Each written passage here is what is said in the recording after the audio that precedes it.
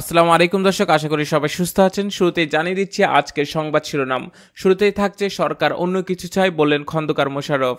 এরপরেই থাকতে দরজা ভেঙে তছনছ করা হয়েছে বিএনপি চেয়ারপারসনের অফিস, হিসাব শাখায় লুটপাট বললেন মোশাররফ। এরপরেই রয়েছে জামিন পেলেন না ফখরুল আব্বাস সহ বিএনপির দুইশত চব্বিশ নেতাকর্মী। সর্বশেষ থাকতে আন্দোলনে যারা হারে নির্বাচনে তারা বিজয়ী হতে পারে না বললেন ওবায়দুল কাদের। এবারে বিস্তারিত। বিএনপির স্থায়ী কমিটির সদস্য ডক্টর খন্দকার মোশাররফ হোসেন বলেছেন, আমরা শান্তিপূর্ণভাবে নয়টি বিভাগের জনসভা করেছি। সরকারের সব বাধা উপেক্ষা করে এসব জনসভায় জনতার ঢল নেমেছে। আমাদের অনেক নেতাকর্মীকে হত্যা, নির্যাতন করা হয়েছে, মিথ্যা মামলা দিয়ে গ্রেফতার ও হয়রানি করা হয়েছে, কিন্তু আমরা ধৈর্য ধরে দেশে গণতান্ত্রিক প্রক্রিয়াকে এগিয়ে নিতে চেয়েছি। তবে মনে হয় সরকার অন্য কিছু চাই আমরা চাই গণতন্ত্র। আর শুক্রবার বিকেলে রাজধানীর গুলশানে বিএনপি চেয়ারপারসনের কার্যালয়ে এক সংবাদ সম্মেলনে এসব কথা বলেন ডক্টর খন্দকার মোশাররফ হোসেন। তার আগে সেখানে দলটির স্থায়ী কমিটির সদস্যদের বৈঠক অনুষ্ঠিত হয়। বিএনপির স্থায়ী কমিটির সদস্য ডক্টর খন্দকার মোশাররফ হোসেন বলেন, জনগণের দ্বারা নির্বাচিত নয় বলে তারা জনগণের দাবি অগ্রাহ্য করার চেষ্টা করছে। তাদের এই অপচেষ্টা সফল হবে না। জনগণের আন্দোলনের সামনে সব স্বৈরাচারকেই নথি স্বীকার করতে হয়। বর্তমান ক্ষমতাসীন সরকারকেও নথি স্বীকার করতে হবে। ডক্টর খন্দকার মোশাররফ হোসেন বলেন, আমাদের নিশ্চয়ই আপনারা নিশ্চয়ই ইতিমধ্যে জেনেছেন যে গত রাতে প্রায় শত গত রাতে প্রায় সোয়া তিনটার দিকে আমাদের দলের মহাসচিব মির্জা ফখরুল ইসলাম আলমগীর ও জাতীয় স্থায়ী কমিটির অন্যতম সদস্য মির্জা আব্বাসকে তাদের বাসা থেকে আইন শৃঙ্খলা রক্ষাকারী বাহিনীর সদস্যরা সাদা পোশাকে গ্রেফতার করেছে। আজ তাদেরকে ডিবি অফিসে জিজ্ঞাসাবাদ করা হচ্ছে বলে আমরা জেনেছি। পুলিশের পক্ষে থেকে বলা হয়েছে, নেতৃবৃন্দকে জিজ্ঞাসাবাদের জন্যই আনা হয়েছে। কিন্তু জিজ্ঞাসাবাদের জন্য এত গভীর রাতে সাদা পোশাকে ধরে নিয়ে আসার মধ্যে স্বেচ্ছাচারিতা ও দম্ভের প্রকাশ আছে। যুক্তি নেই কোনো। তিনি বলেন, আমরা এই ঘটনার তীব্র নিন্দা ও প্রতিবাদ জানাচ্ছি। আমরা অবিলম্বে বিএনপির মহাসচিব মির্জা ফখরুল ইসলাম আলমগীর এবং জাতীয় স্থায়ী কমিটির সদস্য মির্জা আব্বাসের নিঃসত্ব মুক্তি দাবি করছি। ডক্টর খন্দকার মোশাররফ হোসেন বলেন, এর আগে গত সাত ডিসেম্বর বিনা উস্কানিতে দলের কেন্দ্রীয় কার্যালয়ের সামনে সমবেত নেতাকর্মীদের উপর পুলিশ, র্যাব সোয়াত বাহিনী ইত্যাদি প্রতিষ্ঠান একযোগে হামলা চালিয়েছে। অনেককে খুন ও অসংখ্য নেতাকর্মীকে আহত করেছে। তাদের গুলি ও টিয়ার গ্যাস ছোড়ার পরিমাণ এতই বেশি ছিল যে মনে হয়েছে যেন যুদ্ধ চলছে। নিরস্ত্র রাজনৈতিক কর্মীদের উপর এমন নির্মম আক্রমণ ও জুলুম নজিরবিহীন। ডক্টর খন্দকার মোশারফ হোসেন বলেন, তারা আইন শৃঙ্খলা বাহিনী, দলের মহাসচিবকে তার অফিসে ঢুকতে দেয়নি, কিন্তু নিজেরা অফিসের কক্ষ, আসবাবপত্র ভাঙচুর করেছে, কম্পিউটার, ল্যাপটপ, হার্ড ডিস্ক নগদত্ত ও অন্যান্য দ্রব্যাদি নিয়ে গেছে।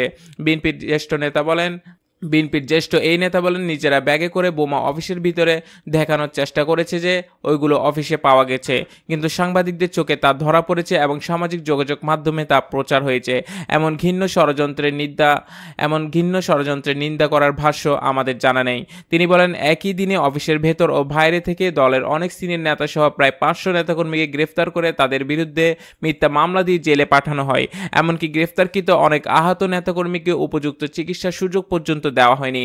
এবং নির্মমতা শুধু অনির্বাচিত সরকারের অনুগত কোনো দলীয় বাহিনীর পক্ষেই সম্ভব। আমরা গ্রেফতারকৃত সব নেতাকর্মীর মুক্তি ও মিথ্যা মামলার ও মিথ্যা মামলার প্রত্যাহার দাবি করছি। খন্দকার মোশাররফ হোসেন বলেন, নভেম্বরের মাঝামাঝি সময়ে দলীয় নয়, পল্টন সড়কে ঢাকা বিভাগীয় গণসমাবেশের অনুমতি চেয়ে চিঠি দেওয়া সত্ত্বেও তা নিয়ে এখন গড়িমসি করে। আমরা না চাওয়া সত্ত্বেও অযাচিতভাবে ও স্বপ্রণোদিত হয়ে পুলিশ সোহরেওয়ার্দী উদ্যানে নজিরবিহীনভাবে ছাব্বিশ শরতে গণসমাবেশের অনুমতি দিয়েছিল, যা অনিবার্য ও যুক্তিসঙ্গত কারণে আমরা প্রত্যাখ্যান করে আলোচনার মাধ্যমে তৃতীয় কোনো উপযুক্ত স্থানে সবার অনুমতি দেওয়ার যে অনুরোধ করেছি তা নিয়ে গড়িমসি করা হচ্ছে। তিনি আরও বলেন, আজ দুপুরে আমাদের একটি প্রতিনিধি দল ডিএমপি কমিশনার বরাবর গোলাপবাগ মাঠে ঢাকা বিভাগীয় সমাবেশের অনুবেশ, সমাবেশ অনুষ্ঠানের জন্য পত্র প্রেরণ করে। কিছুক্ষণ আগে আমাদের চাহিদা মোতাবেক গোলাপবাগ মাঠে ঢাকা বিভাগীয় সমাবেশ করতে পুলিশ সম্মতি দেয়। অতএব আগামীকাল শনিবার ঢাকা মহানগরীর গলেব ঢাকা মহানগরীর গোলাপবাগ মাঠে সমাবেশ অনুষ্ঠিত হবে। ডক্টর খন্দকার মোশারফ বলেন, আমরা তীব্র ক্ষোভের সাথে লক্ষ্য করছি যে সরকারি বাহিনীসমূহ ও সরকারি দলের সন্ত্রাসীরা গত প্রায় পনেরো দিন যাবৎ প্রকাশ্য হুমকি দিয়ে সমাবেশ বানচালের জন্য গোটা ঢাকা মহানগর ও ঢাকা বিভাগ সহ সব বিভাগের উপজেলা ও জেলা ও মহানগরে মহড়া দিচ্ছে। তাদের এসব অগণতান্ত্রিক সন্ত্রাসী কার্যক্রম পুলিশের সামনেই ও সমর্থনে চলছে। বিএনপির স্থায়ী কমিটির এই সদস্য বলেন, রাজধানী ঢাকায় সরকারি দল হঠাৎ করে মিছিল করছে আর আমাদের বিরুদ্ধে উস্কানিমূলক স্লোগান দিচ্ছে। এ অবস্থায় যদি কোনো অপ্রীতিকর ঘটনা ঘটে, তার দায়ের দায়িত্ব সরকারকেই নিতে হবে। কারণ আমাদের এই গণসমাবেশ দুই মাস আগ থেকেই নির্ধারিত ছিল। এদিকে জামিন পেলেন না ফখরুল আব্বাস সহ বিএনপির দুইশত চব্বিশ নেতাকর্মী।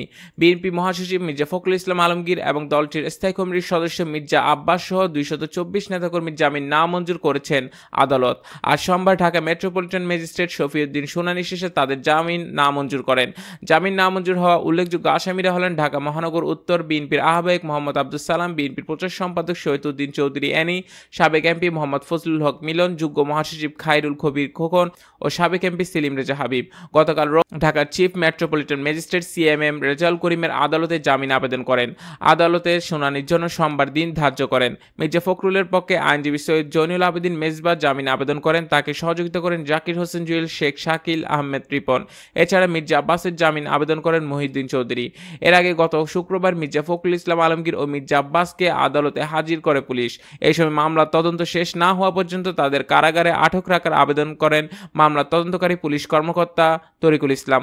অপরদিকে আসামি পক্ষের আইনজীবীরা জামিন আবেদন করেন। উভয় পক্ষের শুনানি শেষে ঢাকা মেট্রোপলিটন ম্যাজিস্ট্রেট মোহাম্মদ জসিমুদ্দিন আবেদন নামঞ্জুর করে তাদের কারাগারে পাঠানোর নির্দেশ দেন। এর আগের দিন মির্জা ফখরুল ইসলাম আলমগীর ও মির্জা আব্বাসকে গ্রেফতার দেখায় ডিবি। এ বিষয়ে ডিবি প্রধান মোহাম্মদ হারানুর রশিদ বলেন, মির্জা ফখরুল ইসলাম আলমগীর ও মির্জা আব্বাসকে জিজ্ঞাসাবাদের জন্য আনা হয়েছিল। জিজ্ঞাসাবাদ শেষে ষাট ডিসেম্বরের ঘটনায় তাদের নির্দেশদাতা হিসেবে গ্রেফতার করা হয়েছে।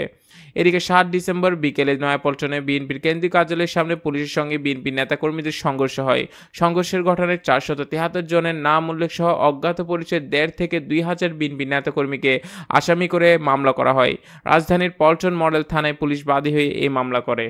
এদিকে দরজা ভেঙে তছনছ করা হয়েছে বিএনপির চেয়ারপারসনের অফিস, হিসাব শাখায় লুট, হিসাব শাখায় লুটপাট, বললেন মোশাররফ। রাজধানীর নয়াপল্টনে বিএনপির কেন্দ্রীয় কার্যালয়ে পরিদর্শন শেষে দলটির স্থায়ী কমিটির সদস্য ডক্টর খন্দকার মোশাররফ হোসেন বলেছেন যে, নগ্ন চিত্র দেখলাম, এটা বাংলাদেশে নজিরবিহীন। পৃথিবীতে এরকম নজির নাই। এ ধরনের ঘটনা মহান মুক্তিযুদ্ধ হয়নি। বিএনপির এই নেতা অভিযোগ করে বলেন, কার্যালয়ের চেয়ারপারসনের অফিসের দরজা ভেঙে ভিতরে সবকিছু তছনছ করা হয়েছে, হিসাব শাখা লুটপাট করা হয়েছে।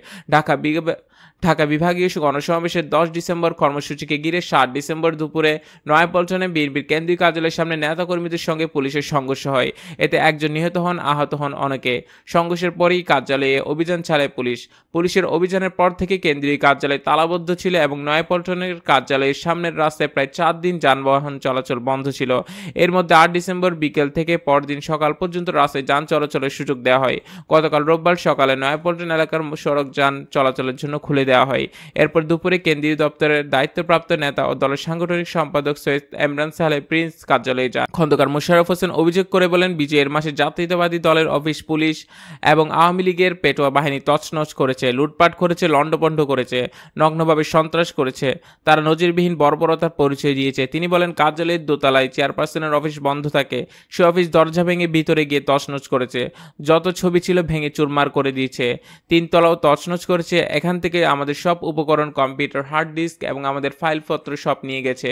এছাড়া অঙ্গ সহযোগী সংগঠনের সব অফিস থেকে আমাদের হার্ড ডিস্ক টেলিভিশন, প্রিন্টার সব কিছু নিয়ে গেছে বলেও অভিযোগ করেন ডক্টর খন্দকার মোশারফ হোসেন। বিএনপির এই নেতা বলেন, আমাদের যে একটি হিসাব শাখা আছে, সেখান থেকে সব লুটপাট করে নিয়ে গেছে।